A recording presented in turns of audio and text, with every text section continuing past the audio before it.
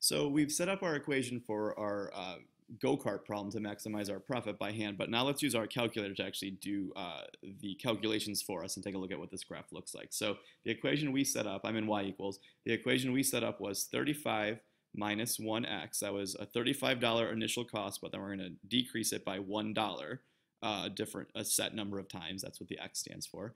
And then for my attendance parentheses, we said, well, there's 380 people that show up right now. But then every time I change that price, lower it by a dollar, I get 20 more people. So we're going to say plus 20 uh, times x because 20 more people show up each time I reduce the price. So there's going to be my equation, uh, my parabola that's going to model the amount of money that I make. Now, if I were to graph right now, I probably wouldn't see much because this uh, window, uh, a 10 by 10 window is not going to be very good. So let's go into our window and make some uh, changes to my domain range in this problem. X stood for the number of times I reduced the price. So I could choose at a minimum to reduce the price not none at all and keep it just the same. So my X min would be zero.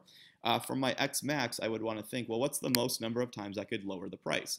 Well, since I'm lowering it by a buck from $35, the most number of times I could lower the price was 35 times. After that, um, if I tried to lower it more, I would have a negative amount of money I'm charging, which would probably be really bad for business. Um, I'll leave my Y scale the same, or my X scale the same. Uh, for my Y min and Y max, that's uh, my revenue. So my minimum revenue could be zero dollars if I charge uh, if I charge zero dollars, I'm going to make zero dollars total. So again, that would be bad for business, but I could use that. Uh, for my Y max, I really don't have any idea, but here's the trick that I do. Um, right now, I charge $35.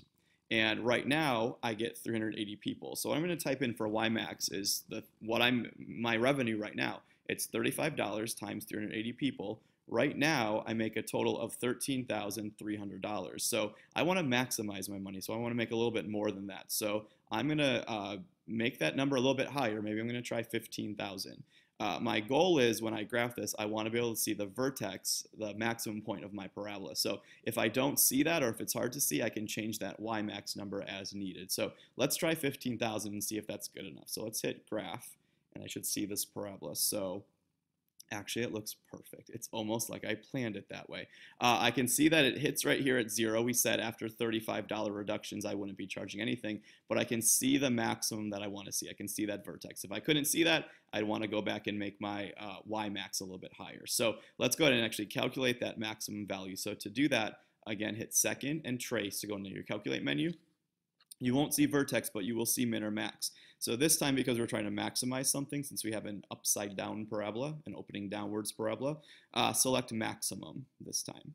Okay, uh, and they'll ask you three questions. They'll say left bound, right bound, and guess. So take your cursor and move that to the left of the vertex.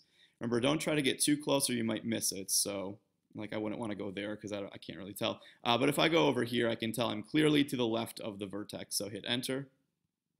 Then they'll say move to the right, so move your cursor again somewhere to the right of the vertex. Over here should be fine. Uh, and press enter. And for guess, you can just press enter. You don't really need to guess very well. Uh, and your maximum value should pop up. Now remember, we talked about what to do if you see all the nines or all the zeros. Uh, round appropriately. So this vertex must be 8, comma 14, 580. So let's go ahead and go back to our problem and actually interpret what those numbers mean uh, in this particular example.